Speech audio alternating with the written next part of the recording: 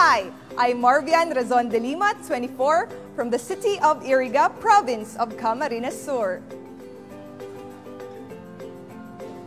If you could live in any period of history, when would it be and why?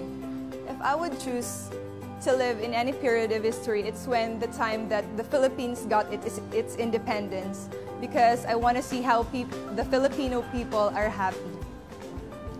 Marvy, please sing a Bicolana song for us. Maraynal daw sa Indogabos. Sarong banggi sa higdaan Nakadangog ako Ninhunining sarong gamgam sa luba ko Katurugan